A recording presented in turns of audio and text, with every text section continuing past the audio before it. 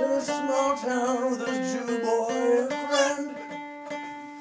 You know the guy, I'm a car and the glasses, my little heart shook. Goodbye.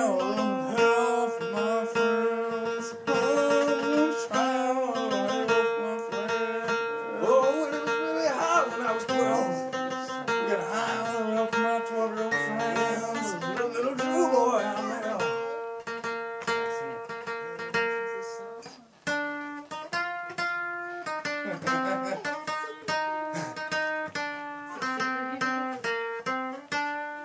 know they should have had a crossover with Fred Savage and Doogie Howser.